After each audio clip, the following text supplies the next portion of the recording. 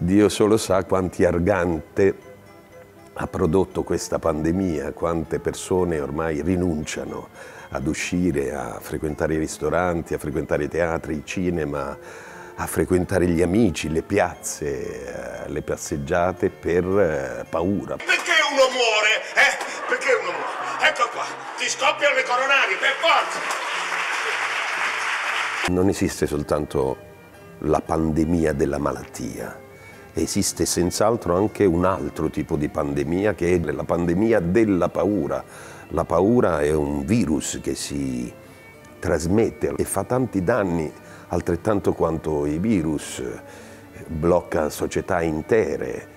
Eh, la paura può bloccare un popolo, una nazione, può farla regredire culturalmente di, di, tanti anni, perciò io ne ho paura. Io penso una cosa, la, la vita va coltivata, quindi va coltivato il desiderio di viverla.